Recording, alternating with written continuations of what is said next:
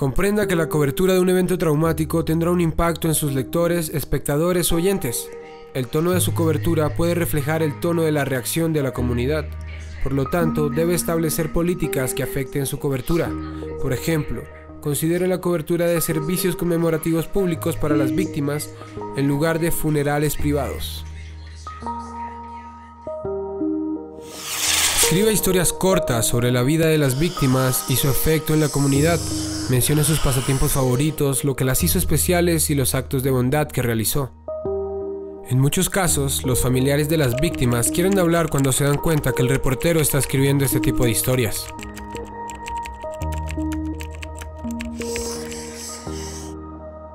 Proporciona espacios para hablar sobre lo que la gente piensa, especialmente palabras de aliento. Ofrezca listas de manera en que las personas puedan mostrar cómo están ayudando y cómo pueden ayudar.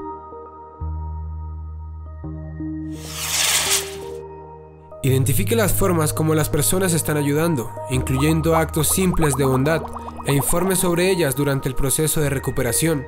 Esto puede brindar esperanza a la comunidad.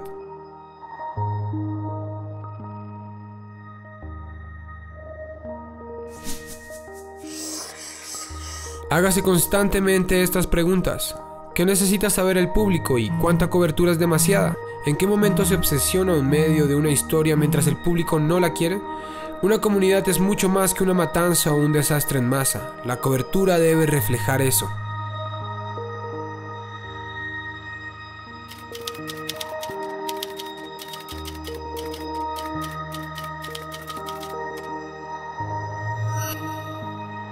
Trate siempre a las víctimas con dignidad y respeto, de la forma en que desea que lo traten a usted, en una situación similar. Los periodistas siempre buscarán acercarse a los sobrevivientes, pero deben hacerlo con sensibilidad, incluso sabiendo cuándo y cómo retroceder.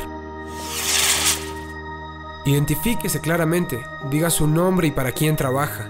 No se sorprenda si recibe una reacción dura al principio, especialmente de los padres de niños víctimas. Sin embargo, no responda reaccionando con dureza.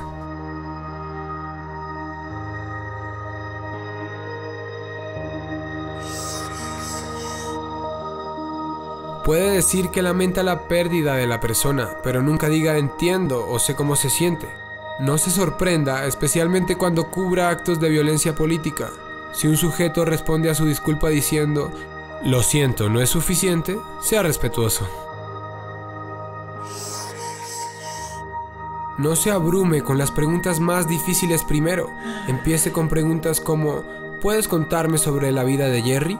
¿O qué le gustaba hacer a Jerry? Cuáles eran sus pasatiempos favoritos. Y entonces escucha. El peor error que puede cometer un periodista es hablar demasiado. Tenga especial cuidado al entrevistar a familiares de alguien desaparecido y trate de aclarar que busca perfilar sus vidas antes de su desaparición y no escribir sus obituarios.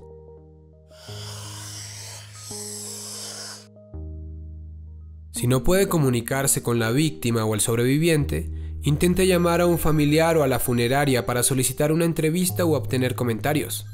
Si recibe una reacción dura, deje un número de teléfono o su tarjeta y explique que el sobreviviente puede llamar si quiere hablar más tarde. Esto a menudo conduce a las mejores historias. Cubrir esta clase de noticias es necesario pero delicado. Con humildad y respeto se pueden lograr reportajes muy buenos.